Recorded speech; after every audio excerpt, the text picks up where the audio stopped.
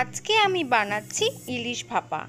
এই রেসিপিটা খুব সহজেই তৈরি হয়ে যায়। এর জন্য আমি চার পিস ইলিশ মাছ নিয়েছি, সেটাকে নুন, হলুদ মাখিয়ে নিয়েছি।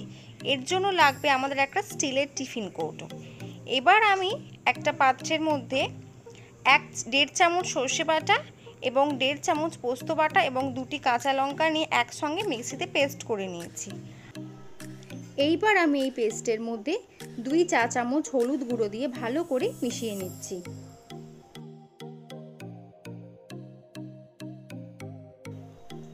এইবার আমি মাছগুলো এই টিফিন কৌটোর মধ্যে সাজিয়ে দিচ্ছি।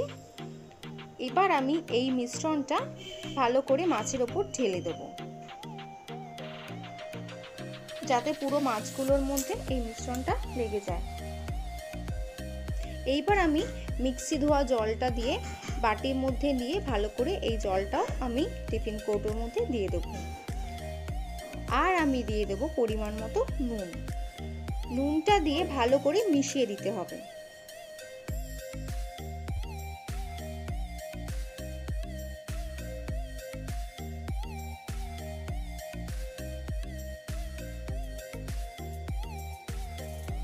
এইবার আমি এর মধ্যে কয়েকটা চেরা কাঁচা লঙ্কা দিয়ে দিচ্ছি। আপনারা চাইলে আপনাদের ঝাল মতো আপনারা দিতে পারেন, যেরকম যে যা ঝাল পছন্দ করবেন। এবার আমি এতে একটু বেশি করে সর্ষের তেল দিয়ে দেবো। এবং এটাও একটু ভালোভাবে মিশিয়ে দেব।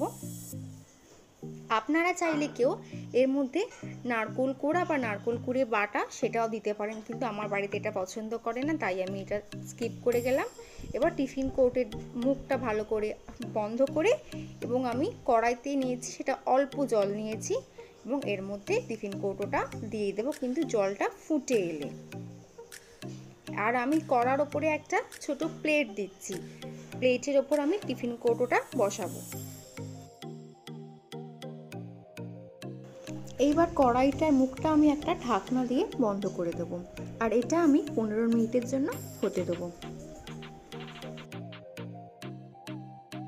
পনেরো মিনিট হয়ে গেছে এবং তৈরি হয়ে গেছে আমাদের ইলিশ ভাপা। খুব সুন্দর গন্ধ বেরোচ্ছে এবং আমি এটা একটা পাত্রে ঢেলে নিচ্ছি।